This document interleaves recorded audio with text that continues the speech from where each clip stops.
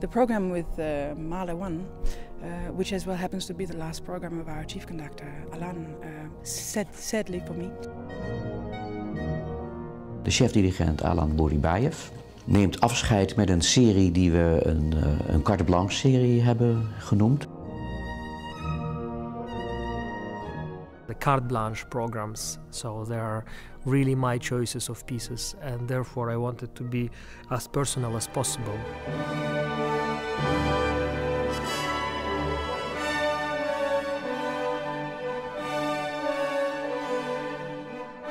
And in the choice of the Mahler Symphony Number no. One, uh, Titan, I remembered my very first concert with Het Brabants Orchestra, where I conducted the Symphony Number no. Four by Mahler.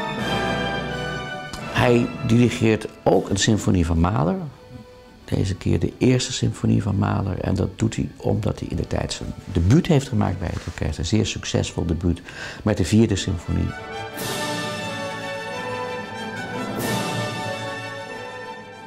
and that was the initial point of our relationship because in that particular week people from the orchestra uh, approached me to ask whether I would love to be become the new principal conductor of Het Brabants Orchestra.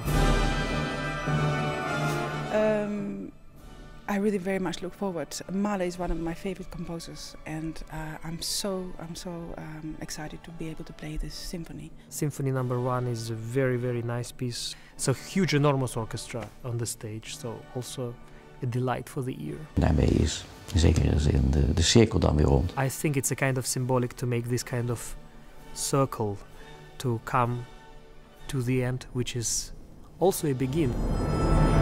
Come on. Come.